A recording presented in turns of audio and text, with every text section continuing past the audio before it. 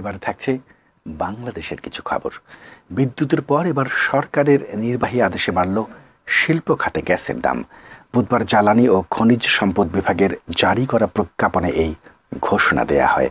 সবচেয়ে বেশি প্রায় আড়াই গুণ বেড়েছে বৃহৎ ও মাঝারি শিল্পে, আর ক্ষুদ্র ও কুটির শিল্প বেড়েছে প্রায় দুই গুণ।